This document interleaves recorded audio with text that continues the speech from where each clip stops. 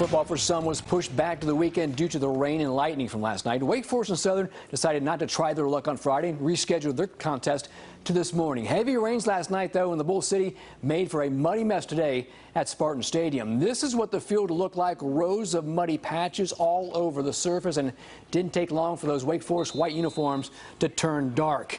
As kids, days like this got us in trouble with our parents. Playing in the mud, the Cougars' Michael DePasquale clean during the run, but not after. The Wake Forest defense gets the Cougars on the board. First, Zane Williams tackles the Spartan in the end zone for the safety. It's 2-0 visitors with the lead. The Cougar offense then gets into the act. Trey Stansel takes a swing pass and tight ropes down the right sidelines. It looks like he scores, but is ruled out at the three-yard line. A couple of plays later, the Cougars will score their bread and butter counter play. We'll see DePasquale tally untouched 9-0 Wake Forest. Southern will close the gap, getting a big play in the passing game. Joe Wallace Holmes takes the pass over the middle. He will find pay dirt 9-6 Wake Forest. At that point, the Cougars will go on for the win 36 6.